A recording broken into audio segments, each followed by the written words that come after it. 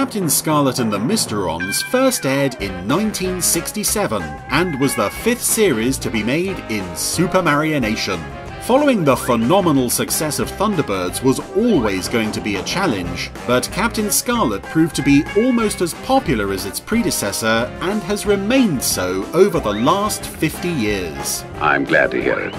Go on. The series, the first to be made under the Century 21 Productions name, follows the exploits of Captain Scarlet, the number one agent of a world security organization called Spectrum. After a disastrous mission to Mars in which fellow agent Captain Black destroys an alien city, They're obviously hostile. Okay, Lieutenant, let them have it. the invisible beings known as the Mysterons declare war on Earth and announce that their first target for retaliation Captains Scarlet and Brown race to protect him but are killed en route and reconstructed by the Mysterons using their special ability to recreate the exact likeness of an object or person known as retrometabolism. The Mysteron Captain Brown fails in his attempt to kill the president, who is then kidnapped by Scarlet and taken to the top of the London Car-Vu. In the ensuing shootout with Captain Blue, Scarlet falls 800 feet to his death.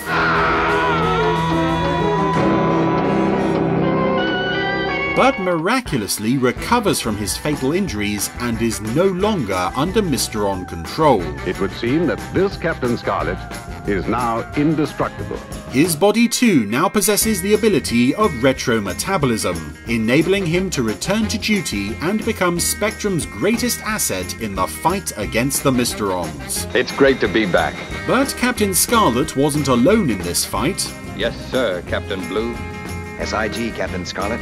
He was usually partnered with Captain Blue, with regular support from Captains Ochre, Spectrum is green. Grey, SIG. and Magenta. Yes, sir, Colonel, sir. While on Spectrum's aerial headquarters Cloudbase, operations were supervised by the no-nonsense Colonel White Initiative should never clash with discipline. and communications controller Lieutenant Green.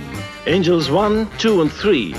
Immediate launch. In most episodes, though, Spectrum's first line of defense was the Angels, a group of five female fighter pilots Destiny, Harmony, Symphony, Rhapsody, and Melody, who, along with Lieutenant Green, was the first regular black character in an Anderson series. Proceed to Cloudbase.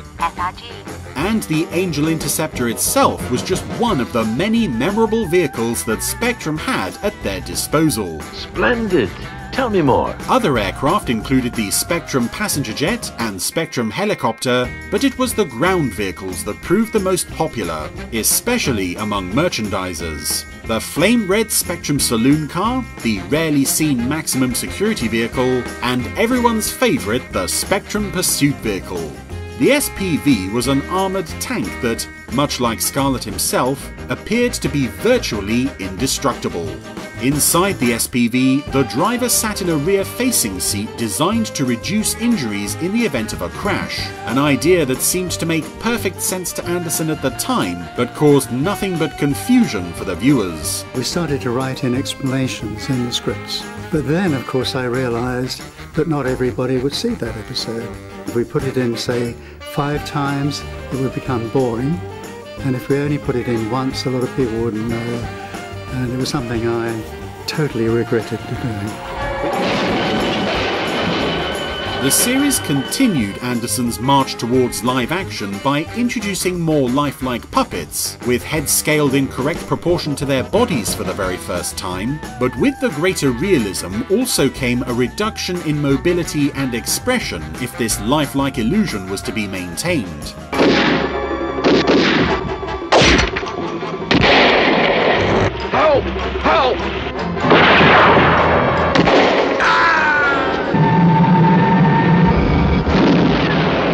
Another notable departure from what had gone before, the tone of the series was exceptionally dark for a family show, with guest characters being ruthlessly killed off in almost every episode in order to be reborn as agents of the Mysterons, and often being defeated just as violently. The darker tone is firmly set at the start of every episode, as the chilling voice of the Mysterons lays out this week's evil plan before we see Captain Black standing alone in a graveyard. The former Spectrum agent now just a zombie firmly under the control of the alien intelligence he once tried to destroy.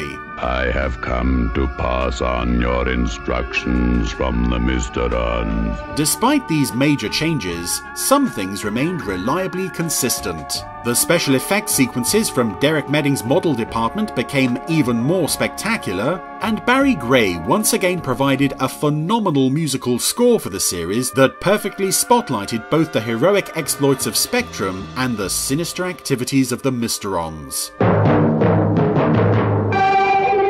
The end titles theme on the first 14 episodes was largely instrumental, with real life pop group The Spectrum stepping in to provide a memorable theme song for the final 18.